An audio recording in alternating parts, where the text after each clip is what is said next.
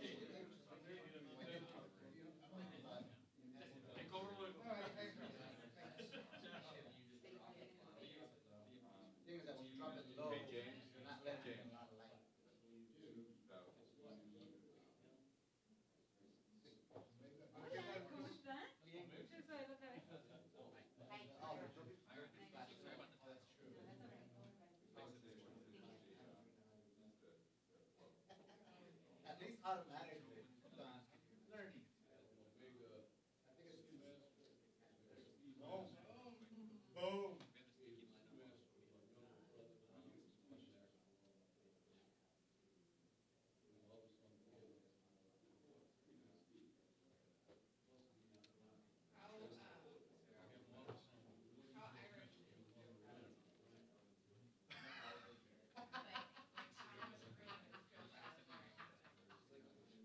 He's gotta have a good time. Like, I'm gonna bet a green carnation of some kind and a green carnation.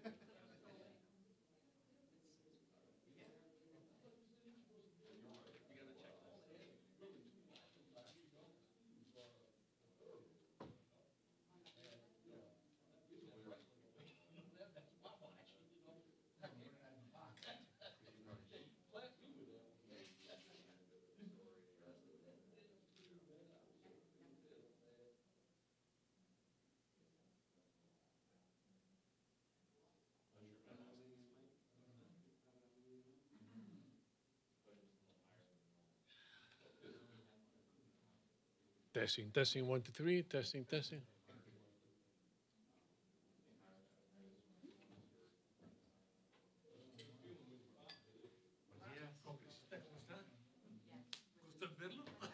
Siempre, siempre. Okay, can we, we're gonna bring it up close? Nope, that's far as it goes, plugged into the wall.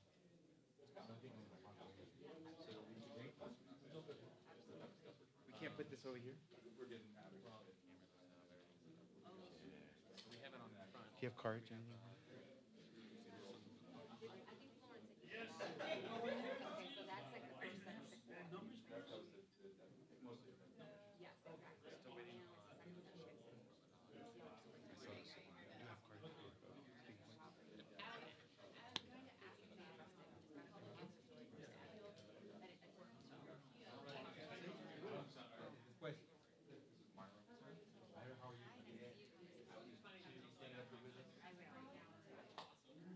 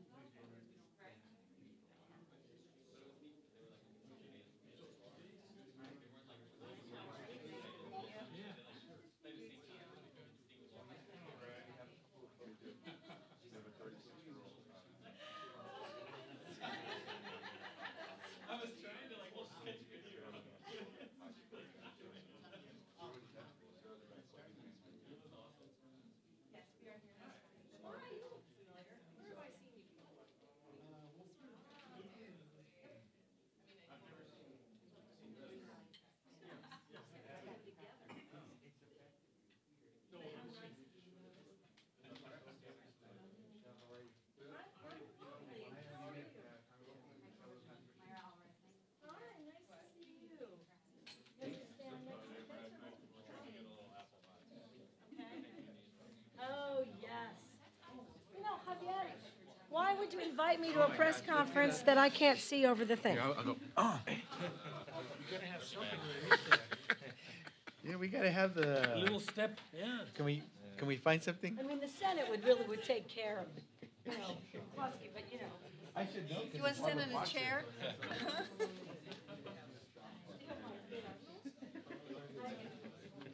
We, we'll find something.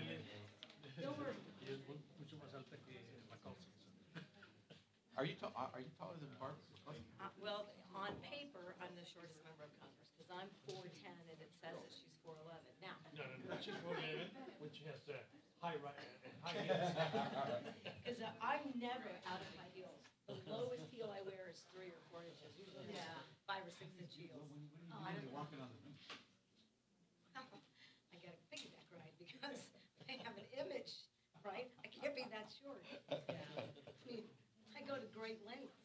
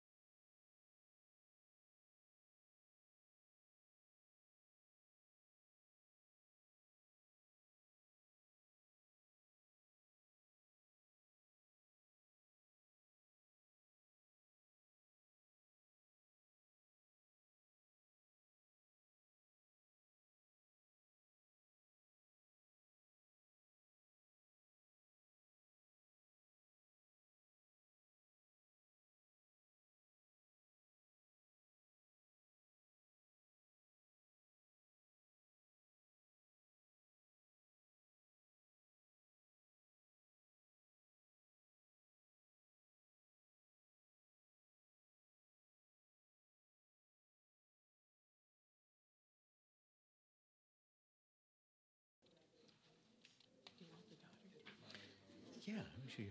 Carlos, véngase. Let me give you that. Si quiere traer a su hija, la puede traer. Claro que sí. Aquí somos familia. ¿eh? Yeah. My, Myra, get over here. Get over here. Get right next to Michelle.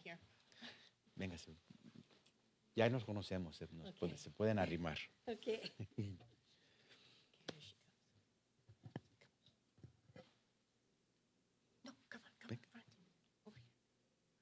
Don't you want to be on TV?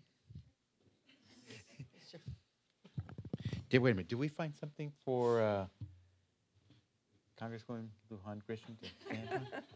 Did we? We'll, we'll make it work. No, we gotta, I'll we gotta, tiptoe, I'll tiptoe, I no, got we gotta, I we got gotta this. find something. There's, there's gotta be something. It'll work. Okay, okay, we'll just lower the microphone. We'll be out there. Okay, are we ready? We want to say thank you to everyone who's joined us today, and certainly our speakers and our guests who are with us today. My name is Xavier Becerra. I am a Democrat from the city of Los Angeles, California. I'm also the chairman of the House Democratic Caucus. I'm pleased to be joined by my colleague, also from Los Angeles, and one of our uh, local leaders in the state, uh, the state of California, who's been in Congress for over 20 years as well, my colleague Lucille Roybal Allard. And we've been joined also by uh, a great new colleague from the great state of New Mexico, Michelle Lujan Grisham, who is with us. Uh, and we also want to say thank you to the administration, the Obama administration, for all the work that they've been doing. We want to thank Mayra Alvarez, who has been going around the country talking to uh, communities, trying to give them all the information they need about the Affordable Care Act and what it will mean for them. She is the Associate Director of the Office of Minority Health within the Department of Health and Human Services. And we have a couple of special guests who I'll introduce in a moment as well. Let me just say a few words, both English and Spanish, and uh, then I want to turn it over to uh, my colleagues. I want to just for a second walk over to this screen. That's why we're here. 17 days, 15 hours, 46 minutes, seconds. 17 days. 17 días. Si fuéramos una de esas tiendas largas, grandes, diríamos, no se pierda esa venta, esa promoción. We would be telling you 17 days left for you to take advantage. The sale is going to end. This promotion will not last forever. 17 days. Well, this isn't a promotion, this is not a sale. This is about the health and well being of your family. 17 days to try to make sure that you are doing everything you can to ensure the health and welfare of your family. So join us. Don't wait. Sign up for affordable health care. Únese con nosotros. No espere. Este es el tiempo de inscribirse para recibir una seguridad para su familia en, en cuanto a su seguro médico. Es tiempo. 17 días. That's what's left. Now, I can tell you any number of stories. A young woman back in Los Angeles who lives in my district, Jade Moreno, early 20s. I was in a clinic. She was in there at the moment inquiring about a policy because just a few weeks before she had had to go to the emergency room. She looked very healthy, but she did have to go to the emergency room a few weeks before that. She ended up with a $3,000 bill, no insurance, and now she has to pay $3,000. She's going to have a tough time. She found out that same day she qualified for health care. So she walked out of that health clinic knowing she would now have health insurance, which is great. But had she done it three weeks earlier, she wouldn't be facing a $3,000 health care bill. We're trying to tell people 17 days. Don't wait. No esperen. Es tiempo. Let me now turn to my colleague, Lucille Roybal Allard, who also has been working tirelessly as the task force chair within the Congressional Hispanic Caucus, uh, task force chair on health care to try to help Americans register to get their policies. Lucille Roybal Allard. Thank you very much, uh, Xavier, and, and thank you for organizing today's press conference and for your leadership on this very important issue. The Affordable Care Act is making health care a reality for millions of, of families across our nation, and Latino families must not be left behind. Before the passage of the Affordable Care Act, approximately 30% of Hispanics were uninsured, which was the highest rate among all racial and ethnic groups. Today, the Affordable Care Act is helping to lower these high, unacceptable rates of uninsured Latinos. By enrolling in the Affordable Care Act, Latino parents and their children no longer have to endure illnesses or painful injuries because they can't afford to see a doctor. Parents don't have to worry about their children getting a serious preventable illness because they can't afford to get them vaccinated or treated for a chronic preventable disease. Why? Because when you enroll in the ACA, many vaccinations and preventive services are free. The ACA also makes it possible for Hispanic children who have a 50% chance of developing diabetes to receive the care they need because insurance companies can no longer deny them coverage due to a pre existing condition. Seniors and adults also are eligible for free health services such as annual checkups and mammograms, prostate cancer screenings, and immunizations. And young adult Latinos uh, of age 26 and over don't have to worry that they might be a financial burden on their family if they get sick or if they are in an accident, because now they too can afford health insurance. In other words, the Affordable Care Act is a wonderful opportunity for uninsured Latinos to get the health care they need to improve the quality of life of themselves and their families. So don't miss out. Enroll in the Affordable Care Act for yourself and your family by March 31st. Ahora unas pocas palabras en español. La ley de cuidado de salud es una oportunidad maravillosa para que los latinos obtengan el seguro médico necesario para mejorar su calidad de vida y la vida de su familia. No se pierdan esta oportunidad. Inscríbanse en un seguro médico bajo la ley de cuidado de salud antes del 31 de marzo. Muchas gracias. Muchas gracias, Lucio. Ahora nuestra congresista del Estado de Nuevo México, una campeona en este asunto de ah, el seguro médico, alguien que ha eh, presentado un proyecto de ley que se trata del asunto del cuidado médico para mujeres y niños en este país tan maravilloso, nuestra congresista Michelle Lujan Grisham from New Mexico. Thank you. That's right. Gracias. Uh, so now I get to stand tall or taller than everybody else on an issue that all of us, as you can uh, tell by our presence and remarks today, we believe critically important to Hispanic families. And uh, like uh, my colleagues, I've got uh, fabulous remarks that I'm going to steer away from for just one moment. 20 years ago, when I was running the uh, uh, New Mexico's Department on Aging, I think then it was uh, the Agency on Aging, I remember a, a very tragic call from a family of a 60 year old woman, so she wasn't eligible uh, for Medicare, who had fallen and broken her hip and was in the public hospital uh, in the district in which I now serve, Albuquerque. Uh, now, what that hospital is required to do is to stabilize the patient, and they did, and to tell the family that she had a broken hip that required surgery uh, and then rehab care.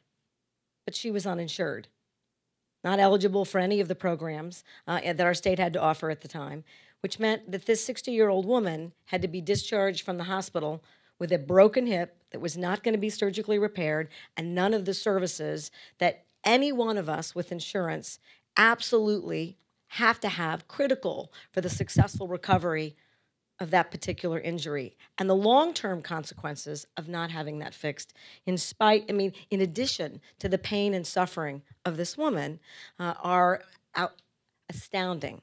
Now, we found ways to, to, to fundraise. How many times have we been to a community center or a nonprofit or a convenience store or some other um, uh, venue where there are fundraising efforts to help pay for the medical bills for individuals who are not insured. And in my state, these individuals are often Hispanic families this deadline is critical to make sure that that kind of a story doesn't reach my office now that I'm uh, in Congress and doesn't reach the offices of anybody in the state because that person is not eligible for coverage. Um, these are the kinds of stories that don't make any sense today in America. And this, the Affordable Care Act, can make the difference quite literally between um, life and death. And like my colleagues, I really want to thank Chairman Becerra for inviting me here because the Affordable Care Act, as we're discussing, is the the resource, it's the gift that gets families covered. It provides economic security while preventing a lifetime of debt uh, if a ca- catastrophic event occurs. Now, as of March 1st, we have more than 15,000 New Mexico uh, New Mexicans had enrolled in a health care plan through the Affordable Care Act. 78% of them are receiving financial assistance. Two of my constituents, Mark and Elizabeth Horst from Albuquerque, signed up for bronze plans through the exchange last fall. Now, they make 24000 a year between them and they qualified for $612 in monthly subsidies, which covers the cost of the bronze plan, which they've signed up for. But thousands more New Mexicans are still eligible. New Mexico had the third highest uninsured rates of any state before the Affordable Care Act went into effect this year. Nearly one in four residents are uninsured, 21.9% in 2012. And particularly among the Hispanic community, more than 25% are uninsured and frankly also underinsured.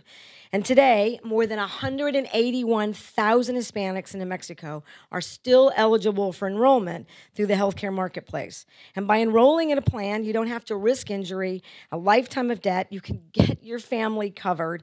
And by having access to primary care, your spouses and children can stay healthier longer.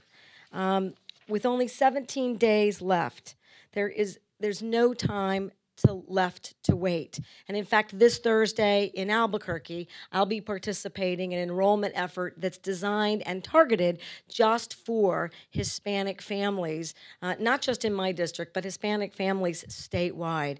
I appreciate very much this opportunity to highlight what I think may be the most important resource for Hispanic families today, and certainly for Hispanic families in my state in New Mexico. Muchas gracias. Thank you very much, and I appreciate the opportunity to be here today.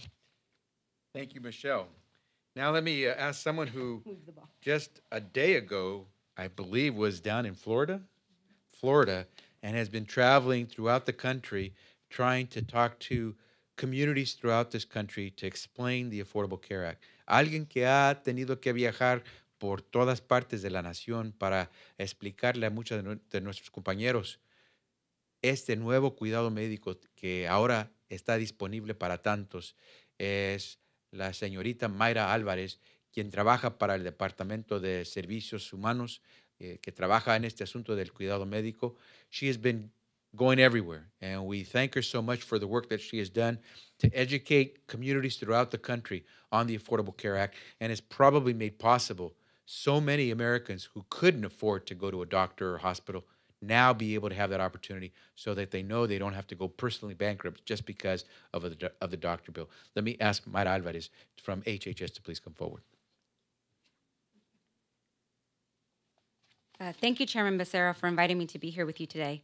Um, de veras, con todo mi corazón, es un honor representar la administración con nuestra comunidad. Como hija de inmigrantes de México, es un honor el trabajo que tengo y la oportunidad de platicar con la comunidad sobre los beneficios de la ley de cuidado de salud a bajo precio. Bottom line, based on what we've heard this morning, the Affordable Care Act is working. For the millions of Americans that have had insurance and have had the security that insurance provides, that health insurance is now stronger and better with new consumer protections. For a Latino community who is disproportionately impacted by illness, like diabetes, certain types of cancer, high blood pressure, those checkups, those screenings, those checkups that help keep us healthy and prevent illness from getting worse, those are free. No woman in this country will ever be charged more for coverage simply because she's a woman. No American will ever have to worry that they're going to get sick and hit a lifetime limit on their coverage because those limits are outlawed. And for Americans who don't have coverage, as the members have stated, these are there are now affordable options available through them for them through the marketplace and in some states through the Medicaid program. The security and peace of mind that health insurance provides is now extended to an 10.2 million Latinos across the country. And what we've heard from multiple surveys across the board is that yes, Latinos may not know a lot about the law, but the moment they get informed, they're interested, they're engaged, they want to learn more, they want to offer that security to their families and the well being of their community. Surveys have told us that one of the many worries that Latino families have is the cost of health insurance. We estimate that eight out of 10 Latinos that get covered through the marketplace are going to get some form of financial assistance either through the Medicaid program, the CHIP program, or through tax credits to make private insurance coverage more affordable. For example, a 27 year old living in Miami, Florida, with an income of $25,000 could pay as little as $87 for their bronze plan. A family of four with an income of $50,000 living in San Diego, California, can pay as little as $42 for their family coverage with the bronze plan and application of tax credits. There is real help to help pay for the cost of coverage. But let me tell you, the message is it's we need to get it out to the community. And what research has told us time and time again is that the Latino community likes their information from trusted sources, whether that is right in their community, from community organizations that they know and trust, or from Spanish language television and radio. That's why we've been engaged in ambitious efforts, not only here at the federal level, but in communities across the country. We knew from the beginning that this administration will not be able to do this alone. It's why we've engaged our community partners, our national organization partners, and our definitely our partners on the Hill to reach out to the Latino community and ensure they have the information they need to enroll in the marketplace. It's why we're thankful for our partnerships with Spanish language television like Univision, Telemundo, Impremedia, and their print newspapers to get the message out where Latinos are already hearing their information on a daily basis. Um, over the last few months, we've partnered with national organizations like LULAC, Planned Parenthood, Enroll America, National Council La Raza to hold enrollment summits. I was just in Chicago last weekend for one of those enrollment summits held at Benito Juarez High School. It was a huge event, but not only did it involve in person assistance for people needing help to apply for coverage, it offered resources for the entire family. So you would find preventive screenings in one corner. You would find children playing games in another, Zumba in the middle of the room, making it a family event. Because when it comes to applying for health insurance coverage, this is a family issue for millions of Latinos across the country. And we have to make the opportunity to enroll in coverage that much easier for them. Like all Americans, Latinos have options when it comes to enrollment. They can apply via paper application in English or Spanish. They can call the call center and do it in English or Spanish. They have the opportunity to enroll in coverage on healthcare.gov or cuidadodesalud.gov. Both are fully functional and are enrolling people on a daily basis. And then last but not least, they have the opportunity to do it in their very own communities, at community centers, at libraries, at their local high schools, places that they already know and trust, where they can go and get and take advantage of the opportunity to enroll in coverage. And I think when it's in your community, when it's people that you trust, people that you've seen around the way and can answer your questions, you're more likely to come forward with the questions that are on your mind and that you're worrying about. We know a lot of Latinos are part of mixed status families. They may have a parent in their family who's a US citizen, while another may not have papers and is undocumented. They may have children that are legal residents or citizens. We want to encourage those families to come forward and apply. None of the information that you submit on your application will be used for immigration enforcement purposes. It is solely used to verify that you are eligible for coverage in the marketplace. We want to make sure that every one of those 10.2 million Latinos that are eligible for coverage takes advantage of this important opportunity the numbers of the community continue to grow. We're in every state across the country. And in order for us to be able to, uh, to contribute to the well being of our communities, we have to be healthy. With health insurance, we have one more resource to do so. Thank you.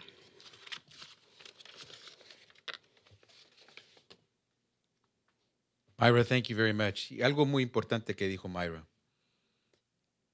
Si usted tiene hijos que califican para este seguro médico, porque son ciudadanos, pero usted no tiene documentos para estar aquí, por favor, no le niegue a su hijo la oportunidad de tener acceso a un doctor, a un hospital, solo porque usted no tiene sus documentos.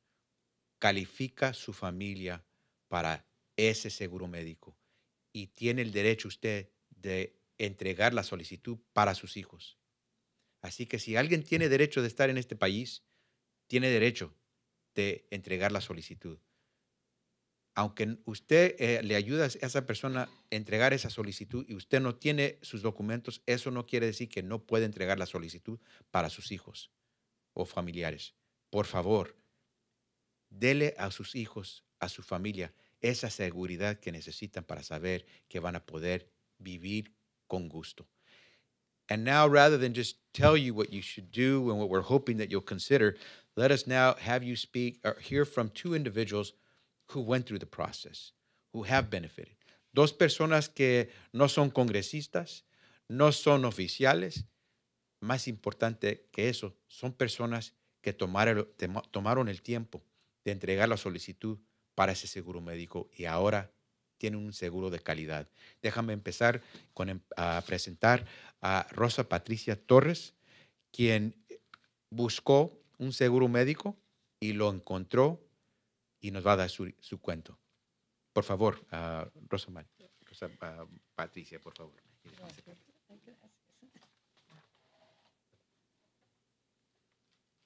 Gracias, buenos días. Mi nombre es Rosa Patricia Torres. Eh, soy colombiana, vine a vivir a este país porque mis tres hijas viven acá, ellas son ciudadanas y decidí estar junto a ellas. Eh, recién llegué, eh, tuve que tomar otra clase de seguros que en realidad solo me cubrían para una emergencia y estaba deseosa de que empezara el Obamacare. Una vez en octubre pude aplicar para el Obamacare, empecé a hacerlo en el sistema, siempre tuve problemas porque habían algunos problemas del sistema y, no lo pude lograr, llegaba hasta cierto punto y hasta ahí el sistema me dejaba pasar, pero después vine a hacer un voluntariado a la clínica del pueblo que ayuda a la comunidad latina y ahí habían niñas encargadas de trabajar con el Obamacare, entonces les conté que yo había llegado a hacerlo hasta cierto punto en el sistema, pero que no podía continuar. Ellas me dijeron, tráigame todos sus papeles, sus datos y nosotros lo vamos a hacer. Efectivamente, eh, lo hicieron, pasó y hoy en día tengo mi plan de salud con Kaiser. Eh, y a partir de este mes les puedo mostrar mi tarjeta, mi plan. Estoy muy contenta porque voy a tener un cubrimiento en mi salud. Gracias. Muchas gracias. Otro ejemplo de lo que puede suceder si uno toma el tiempo de averiguar es Carlos Cruz Quintanilla, quien también nos va a dar su historia de lo que él hizo para poder tener esa cobertura para su familia. Carlos. Gracias, muy buenos días. Mi nombre es Carlos, yo soy de El Salvador. Venimos con mi esposa y yo acá al país hace unos dos años. Venimos como residentes permanentes debido a una solicitud de trabajo estamos acá y desde ese tiempo no teníamos un seguro médico. Luego que se aprobó la ley, nosotros pues no teníamos mucha información en concreto para poder optar a un seguro médico. Pero entonces mi esposa se enteró a través de los periódicos que en la clínica del pueblo se estaba brindando esta ayuda para este proceso. Llegamos un día e hicimos la cita. Ellos nos programaron, llegamos a la hora que ellos nos indicaron y un personal, el personal de la clínica del pueblo, nos guió paso a paso en cómo íbamos a hacer este proceso. Nos trataron de una manera amable, también muy profesional, y pudimos obtener nuestro seguro médico.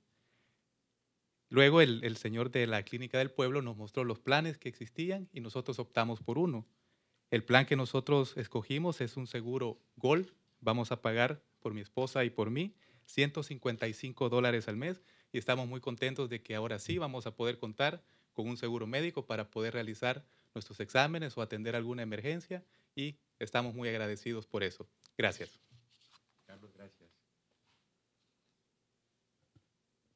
Lo que nos contó Carlos, lo que nos contó Rosa Patricia, es algo que muchos latinos en, latinos en este país están contando también.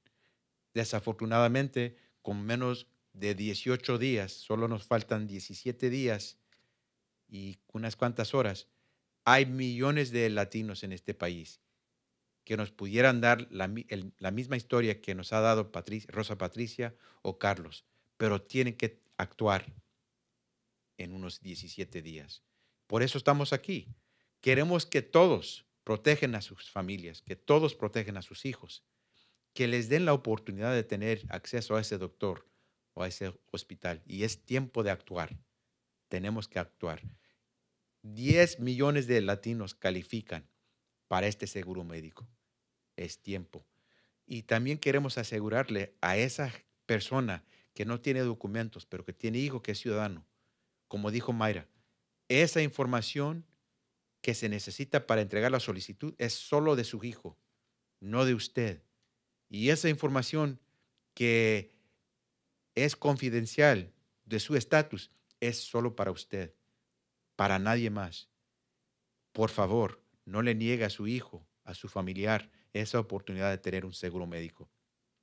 I think with that, we're ready to take any questions, understanding that with some 10 million Americans already having gained health security, 4 million through insurance policies, as we see from Rosa Patricia and Carlos, another 3 million young Americans who have gained or retained their health insurance as a result of being on their parents' policy, and another 3 million uh, more or more Americans who have received their health insurance through Medicaid, and many of us would say it's far more than that, but for sure gained it for the first time through Medicaid, at least 3 million. That's over 10 million Americans who today have health security that they didn't have before.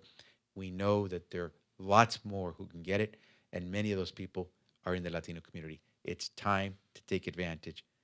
Join us. Don't miss out. Protect your family, protect your kids. With that, we'll take any questions. Particular que conoce el sistema médico porque su esposa es médico. Sí. Ah, ¿Qué hace que los hispanos no se hayan registrado, no se hayan enterado de esto? Es el grupo que más necesita, pero es el grupo también que más ha- se ha alejado de este programa. Y creo que, Carlos, antes de, de esto no habías tenido seguro médico, ¿verdad? Así que voy a pedir, y, y- y Rosa Patricia, no sé si era el caso para... Eh, o usted tenía el yo tenía catastrophic, uno- un seguro que pagaba solamente para que caso de una emergencia. catastrófico. No sí, sí. ningún otro servicio. Así que creo que también ellos pueden contestar mejor que yo porque ellos pasaron por este proceso. Pero yo diría esto, si uno no sabe cómo nadar, no quiere brincar en el agua, porque no sabe qué puede esperar. Hay miedo. El desconocimiento a veces nos, no nos permite actuar. En este momento queremos que el pueblo sepa que no tienen que preocuparse, tener ese miedo, porque no solo nosotros decimos que es importante tomar este paso, pero tenemos personas que experimentaron con esto, que también puede decir, pueden decir eso. Así que por favor déjame brindarle la palabra a Rosa Patricia y a Carlos. ¿Quiere decir algo de por qué usted participó? Bueno, yo participé porque cuando me vine a vivir a este país, eh, los seguros médicos eh, para mí eran supremamente costosos. Lo único que podía conseguir era ese seguro que les dije que tenía con Seven Corners para casos de emergencia, pero yo tenía que pagar y no me iba a cubrir nada, ni una cita médica, nada, solamente si iba a una emergencia. Eh, afortunadamente eh, vino el Obamacare y era una oportunidad para mí, eh, que no podía pagar un, algo muy costoso, porque ustedes saben que aquí el seguro médico es muy costoso y pues mis hijas, mm, ellas me dan muchas cosas, pero el seguro médico de 600 dólares mensuales era imposible pagar. Cuando yo apliqué, eh, al principio les conté que había tenido algunos problemas con el sistema, pero una vez eh, lo pude lograr, estoy en un seguro médico platino, no platino, no plata, perdón, y pago 38 dólares mensual, que para mí es muy fácil de hacerlo. Y tengo una cobertura eh, en todo lo que necesito con un con 1.500 dólares creo que para alguna cosa más seria, deducible. Eso es todo. 38 dólares es lo que paga por mes para tener esa seguridad. 38 dólares. Y por eso le pedimos a todo el pueblo, escuchen, esto es algo que es mejor que una venta, es mejor que una venta. Carlos.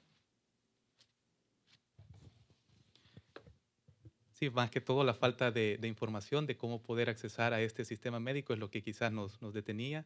Como mencioné al principio, hasta que vimos en un periódico, mi esposa y yo nos estábamos informando, entonces nos enteramos de este, que este lugar brindaba este servicio en español, entonces nosotros asistimos, ahí sí se nos brindó toda la información. También otros amigos que han preguntado, que andan buscando, yo les he también compartido de que en la clínica del pueblo, que está ubicado en un lugar estratégico en DC, ellos pueden accesar ahí toda la información. Nosotros pudimos optar por primera vez, ¿verdad? Acá en Estados Unidos a un seguro médico. Tomar un seguro médico antes eh, de forma individual era muy costoso para nosotros. Luego, como solo tenemos dos años de ser residentes acá, no podíamos optar al, al sistema de salud de la ciudad, que se requieren cinco años de residente. Entonces, nos benefició mucho esta nueva ley.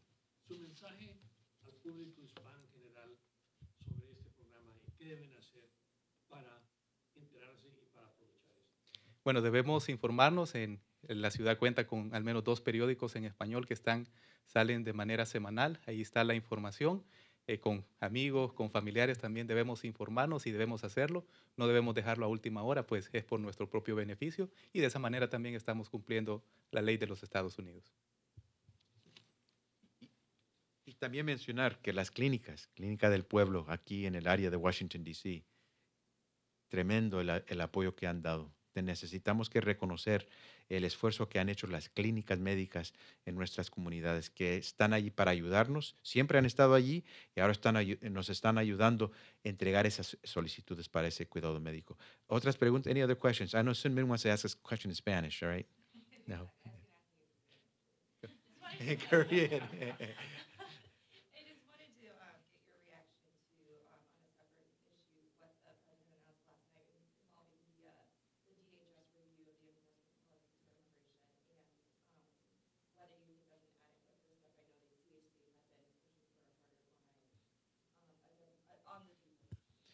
And we'll get to that. Let, let me make sure we get to all the questions that relate to this, and then we'll go, go to that.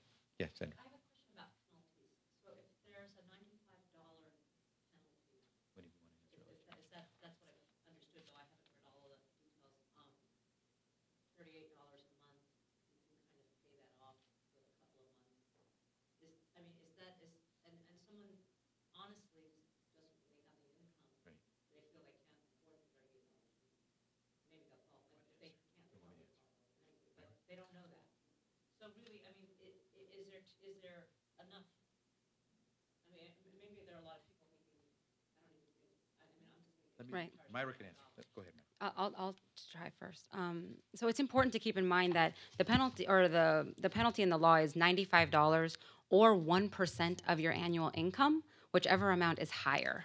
So take, for example, a family that's making $30,000 a year, that penalty would be $300. That's a very big difference. So when we talk about what is out there or what the penalty could be for folks, um, it's a much more real amount when you take into consideration what families are making these days and, and what that's going to be on their family budget. And I think it's also important to keep in mind, you know, an example that we know for health reform efforts is the state of Massachusetts. And the state of Massachusetts had a very low penalty their first year. I think it was something like $25. And you did not see people taking the opportunity to pay that penalty. You saw people taking the opportunity to take up health insurance because there was a chance to buy it, to understand what's, what services were covered, to have a real package, to have it at an affordable price.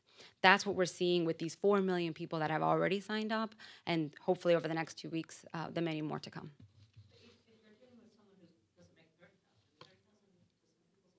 But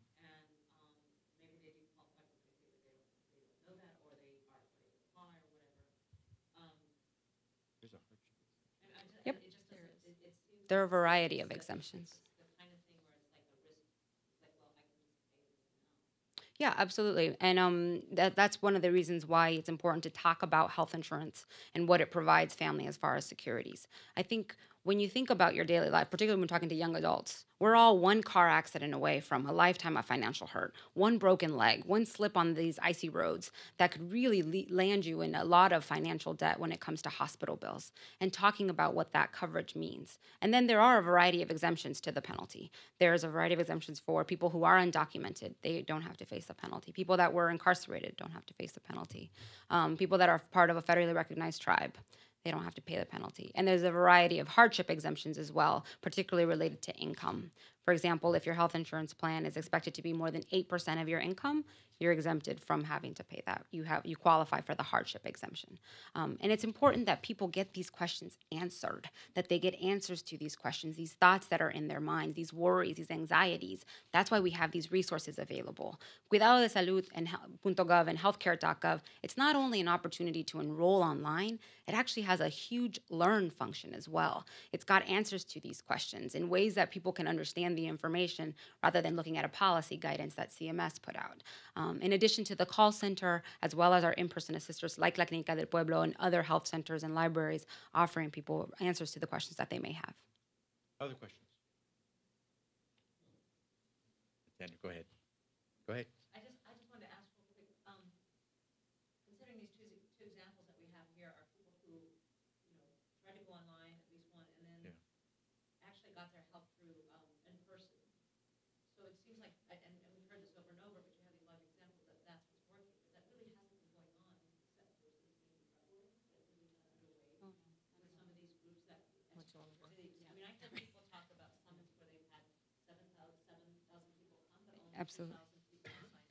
Absolutely. Uh, People may come to a big summit for Zumba and this and that, but only a few are actually signing up while there. So Right, um, that's true. And people sign up for appointments after the fact and are able to learn that this is a resource in their community or learn that there's uh, other opportunities for in person assistance down the, the next week or whatever. Absolutely. So it's learning, it's sharing that information.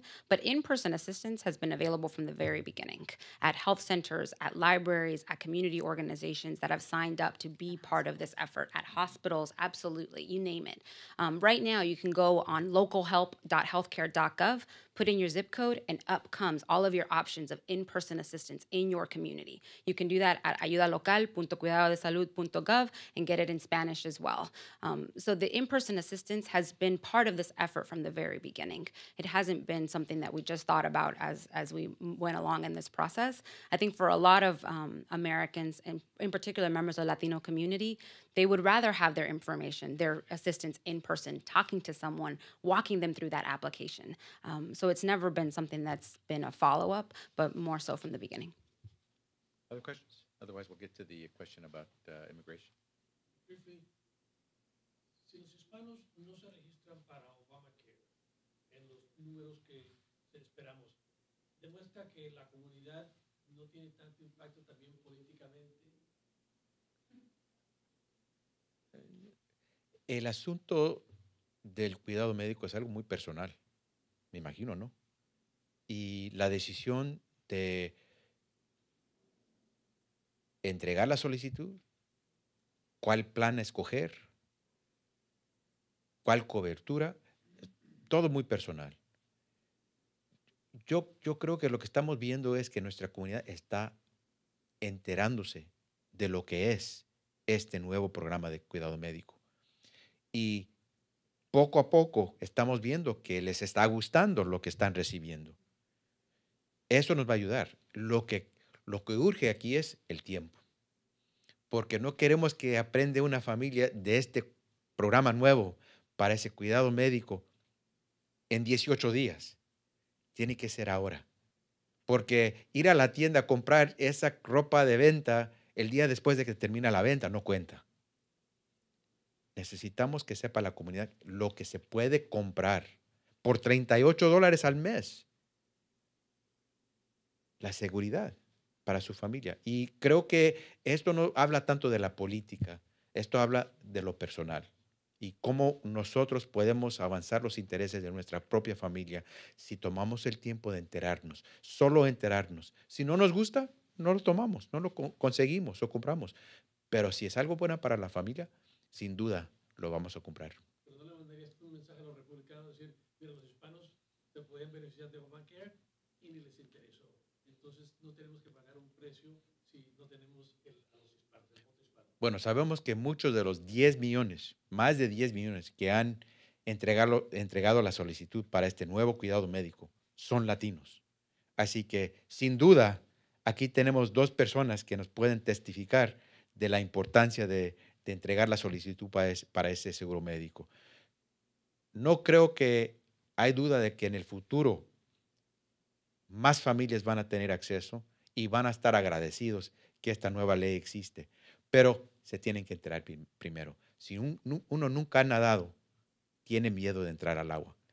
Estamos diciéndolo- eh, diciéndole a nuestra comunidad, entren en el agua, allí estamos para ayudar. El seguro en el agua, como el cuidado médico, está allí para usted. Uh, any final questions? On the question on deportation, and I'll have, have my jo- colleagues join me on this one. Uh, yesterday, the president made very, very clear his top priority is to get immigration reform done. He's been trying for more than five years, but he made it very clear. If he could get immigration done, he would feel like he had done most of the major accomplishments that he had set for himself as president in 2008. He also mentioned the heartbreak he feels because he knows that in Republicans in the, in the House denying a vote for close to a year on immigration reform has caused a lot of grief and separation for families throughout this country. And so he said he would redouble his efforts and do whatever he could to make sure that we had a chance to have a vote in the House of Representatives to pass finally a fix to the broken immigration system. He said he was willing, he's had conversations with uh, Speaker Boehner and other Republicans. He has said he's willing to consider any number of ways to get there. He would just like to get there. And what he told us is that we should redouble our efforts to get a vote, just a vote, just give us a vote on the floor of the House of Representatives to pass a comprehensive immigration reform. We're not demanding that all Republicans vote for it, just to give us a vote. Let us vote and then let chips fall where they may. And he also said, but while we're waiting, he has instructed his Secretary of Homeland Security to meet with and sit down with the members of the Congressional Hispanic Caucus to continue to see if there are ways to try to diminish the the harsh treatment that a lot of immigrant families are feeling as a result of our laws, which are broken, which are causing a lot of separation throughout this co- country. And so we intend to take the president up on that offer to meet with uh, Secretary Johnson of Homeland Security and pursue as much as we can within the framework of the law ways that we can try to make sure that while we push to get a vote in the House of Representatives from Republicans, that we also try to protect families that don't deserve to be separated. Is a mere review enough when there's been a- this big cry from the Latino community on just halting most of these deportations? I mean, a, a lot of activists are already saying like this is You know, it- is DACA nothing? I, I would talk to the hundreds of thousands of families who today are not in fear of having their young child, a young man or woman, son or daughter, deported as a result of DACA. That's that's not nothing. At the same time, as the president said, his action on DACA, the Deferred Action Program for Dreamer young uh, young Americans, is only temporary. It's only as good as the president or any other president saying, "I want to have this executive order." Uh, we know that had the election results in 2012 gone in a different direction, a president, Mitt Romney, would not have done DACA. And so it's not nothing that we have a deferred action program for hundreds of thousands of families in this country who no longer have to fear that their son or daughter is going to be deported simply because innocently they were brought to this country uh, without documents. That is something. And the president has said he's going to try to look within the framework of the law. The president is not Congress. He cannot pass laws, he cannot change laws. He can work within them with his discretion. And he has said clearly, I'm prepared to work within the law with the discretion that the Constitution gives me to try to make the laws work better. And we're going to fight with him to make sure that that's what the administration does. And we're going to fight with him to make sure that finally the Republican leadership in the House of Representatives gives us a vote. That's all we want, is just a vote. We don't need 232 or so Republicans to vote yes. We just want them to give us a vote. I don't know if Michelle or Lucille, if you want.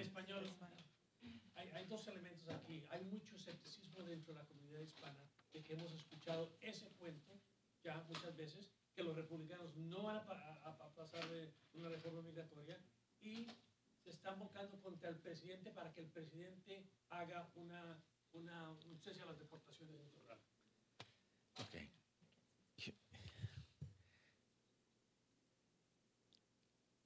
Esto es lo difícil. Explicarle a una, una comunidad que a veces enfrenta desesperación, que enfrenta el temor, que enfrenta la inactividad, convencer a ese pueblo que podemos cumplir. Lo que tiene que entender nuestra comunidad es que para cambiar este sistema roto que está dañando familias, separando familias, necesitamos un cambio de la ley. El único modo de cambiar la ley es pasar una nueva ley en el Congreso. El presidente tiene flexibilidad, no absoluto, o absoluto, pero tiene flexibilidad de tratar de trabajar dentro de la ley para hacerla trabajar, trabajar mejor.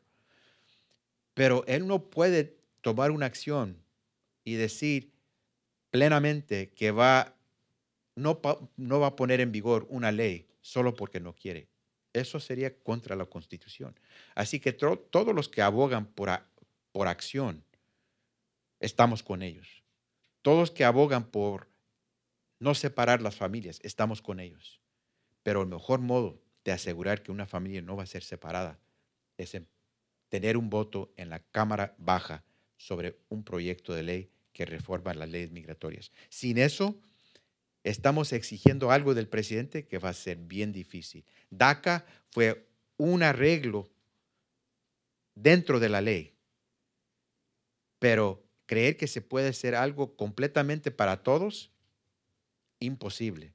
Y el presidente va a trabajar con nosotros, pero nuestro pueblo no puede dejar el ánimo de trabajar para poner la presión aquí en, la Cámara de Representantes para por fin hacer lo que hizo el Senado hace casi un año, para por fin hacer lo que estaban diciendo los propios republicanos hace casi un año, que vamos a tener un voto para pasar un proyecto de ley que reforma las leyes migratorias. ¿Pero usted sí cree que, que los republicanos van a aprobar una medida? ¿Van a ¿Y por qué no? Es el deber de cada congresista de votar. El deber de cada congresista no es de venir aquí y estar jugando con los dedos, es de trabajar. Y si sabemos que el pueblo estadounidense está con nosotros, el 70% del pueblo norteamericano quiere ver una reforma migratoria. ¿Quiénes no quieren ver una reforma migratoria? Los republicanos aquí en la Cámara Baja. Así que si están escuchando a sus constituyentes, si están escuchando al pueblo norteamericano, es tiempo que nos alcancen los republicanos para darnos ese voto. Decir que no, no podemos pasar algo porque los republicanos no quieren, es decir que no sabemos cómo trabaja la democracia en este país. En este país elegimos gente que quiere avanzar los intereses de este país, no jugar política y jugar con los dedos. Es tiempo de pasar una reforma. Se puede hacer, no en un año, no en un mes. Ahora podemos pasar esa reforma y los republicanos lo saben, porque tenemos los votos. Solo hay que darnos ese voto. Y un- una persona que se cree que es abogado para nuestra comunidad y que dice, ya no, ya no vamos a ponerle atención al Congreso, porque no quieren hacer nada los republicanos y vamos a enfocarnos al presidente, esa gente nos está dañando en la causa de pasar una- un cambio permanente para nuestra comunidad. Ayúdenos. En vez de decir, vamos a cerrar los ojos a lo que hacen los republicanos, en no ayudarnos, hacerlos abrir sus ojos para que sepan los republicanos que esto no vale. Es tiempo de hacer esta reforma. Last question.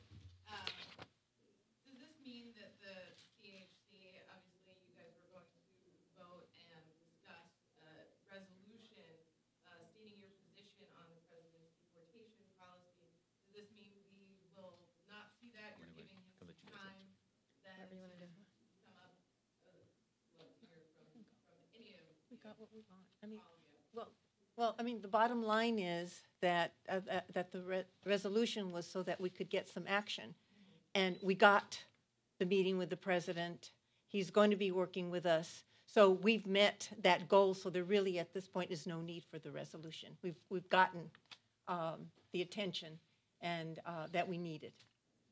We're trying to. I would add, um, we've got more than attention. We have a commitment that we're going to do everything we can within the framework of the law, and that's very important. And while I don't speak Spanish, which is terrible, hablo español un poquito, muy, muy, muy poquito. That's something I've got to get addressed, and I speak even less Korean.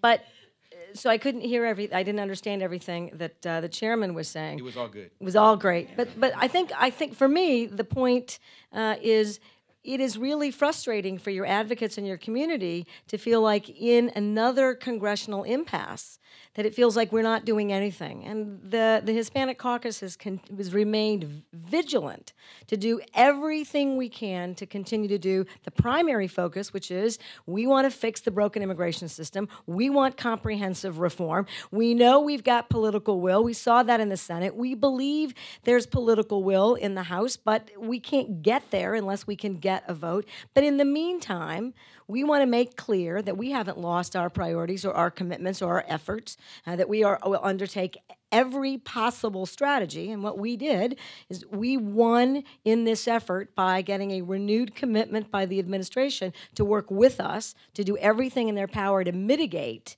these issues to the highest degree under the law. And that's the tricky part. But I have great confidence that between our efforts, and leadership in the caucus and the president's efforts and his cabinet that we have we'll have a meaningful effort like DACA to do everything we can under the framework and that's the kind of pushing that we will be doing on every issue that's productive for Hispanic families as a caucus and I, I'm grateful for their work. Yeah, a- and as uh, Congressman Becerra said, victory isn't until we get a vote on comprehensive immigration reform. These are just, you know, interim steps that we're taking to, to lessen the pain and the hurt that uh, current policies uh, are, are giving to so many of our people. But victory is passing comprehensive immigration reform. And it's important that our community and others understand that these are just interim, temporary fixes, and that victory is passing comprehensive immigration reform. Listen, uh, many families would tell you time already ran out. Absolutely. And we know that this could have been done a long time ago. So the people should be answering that question are the Republicans in the House of Representatives who have not allowed us to have a single vote on a comprehensive immigration reform bill. Time is running out on them because we're not going anywhere. We're going to continue to fight. The resolution is just a it's yeah, it's the it's the it's our manifestation of our resolve. The resolution is nothing more than a testament to our resolve in the Congressional Hispanic Caucus to get this done. And we are resolved to make sure that no family that has worked hard in this country and deserves a chance, as the American public now agrees, should have to face a separation from a family member or face an intransigent political party that is not willing to at least let them have a vote.